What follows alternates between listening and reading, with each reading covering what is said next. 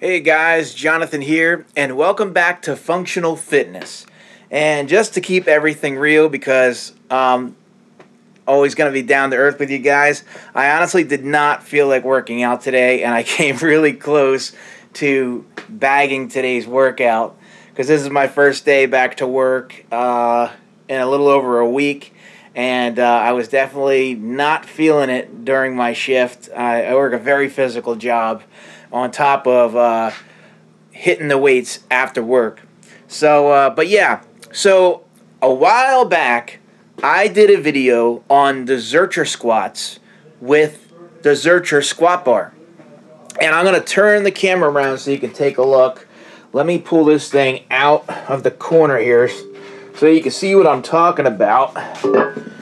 If you recall this, very unique bar. I actually really enjoyed using it, but I had a bit of a mishap. Uh, I'm gonna say like three weeks ago or a month ago.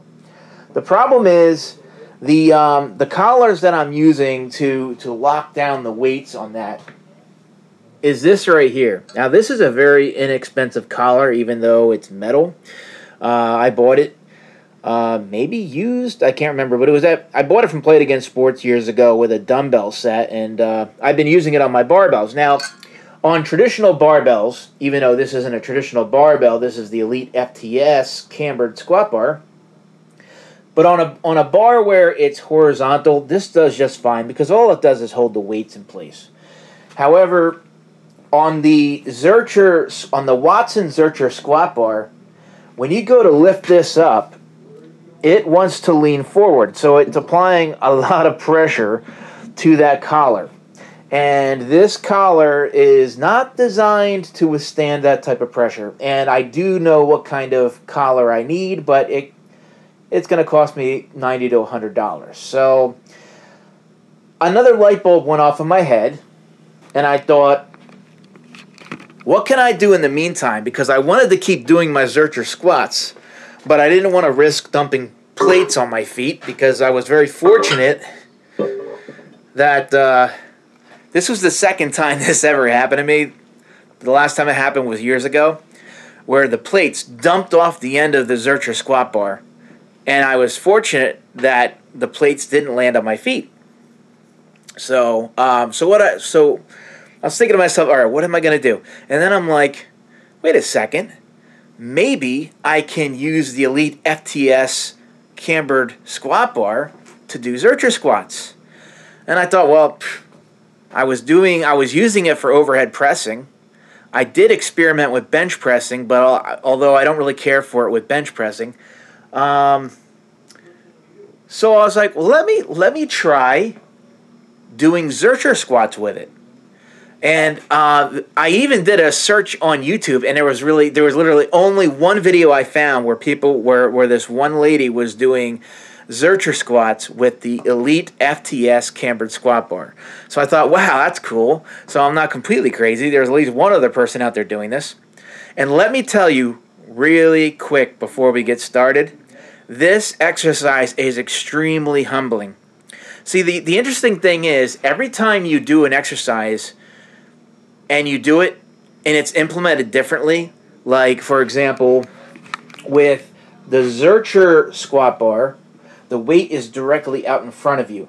So it feels very different than, say, uh, Zercher, um, Zercher deadlifts or Zercher squats with a standard Olympic barbell.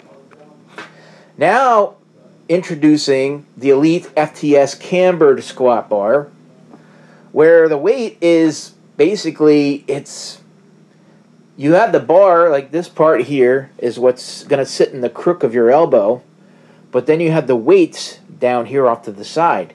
And let me tell you this is very humbling. I, I, I just couldn't believe like i got my butt kicked.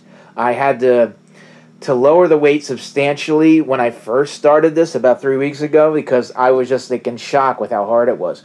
But anyways i'm going to do a demonstration of this. This is 235 this uh this bar is loaded to 235 pounds right now. And uh, take note that this bar weighs 65 pounds. So this is 235. I'm going to be doing two sets of five. So Let me let me get the camera set up on the tripod, and uh, yeah, we're gonna get started. Uh, before I get started, I just want to say that um, yes, I only do two sets. My my workout is extremely modified.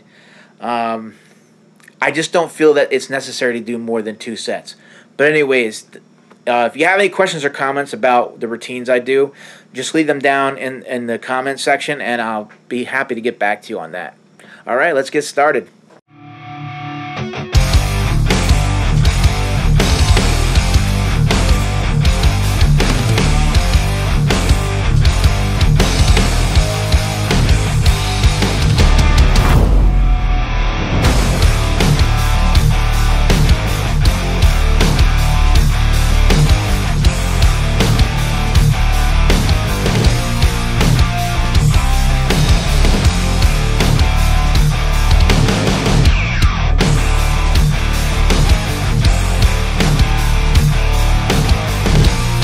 All right, the first set is done. I'm taking a little breather. I usually rest for about five to six minutes in between these sets because they're heavy sets.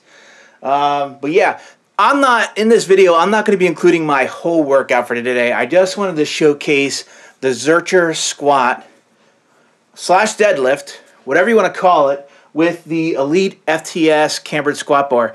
The reason why I say uh, Zercher squat slash deadlift is because the lady I saw in the video I've seen of her using this bar to do the Zercher squats, she was actually doing deadlifts with them. She was sitting the bar down on the ground before lifting the next repetition. So I, I prefer to keep it more of a squat, but that's really, uh, that's all preference. So uh, yeah, let's get back to it.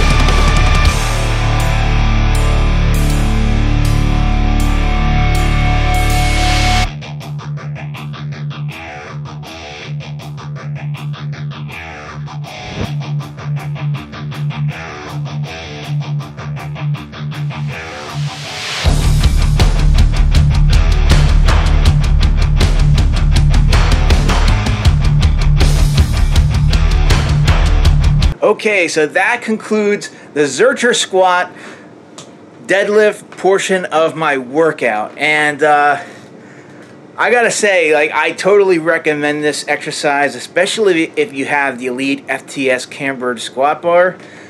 It will hit you like never before.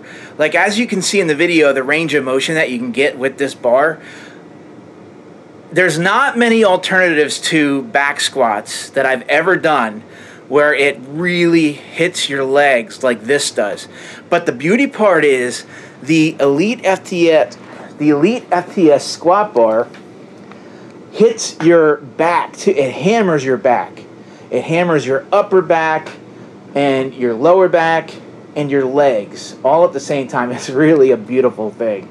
Um, so yeah, like I said though, uh, if you do approach this, really be uh, be prepared that this will humble you. Start light, keep the weights modest until you get used to it because this is going to feel a little bit awkward at first. And it all it all comes down to weight distribution because the weight is distri- distributed differently than say like a standard bar. It just feels different. Anyways, that's the Zercher squat with the Elite FTS bar. Uh, yeah, have at it and enjoy. And I'll catch you guys later.